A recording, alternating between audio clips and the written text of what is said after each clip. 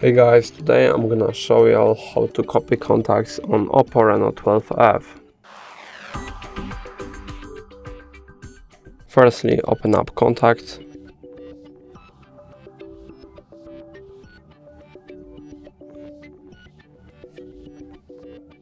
Now tap on manage SIM and now choose where you would like to store uh, the imported contacts from SIM to. It can be your device or Google account. I'm going to my device.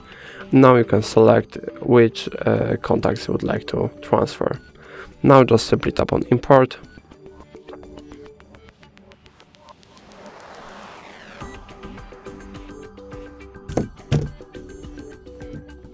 And then uh, uh you can delete from the uh, SIM card, these contacts you have just transferred, or keep them. I'm going to keep them.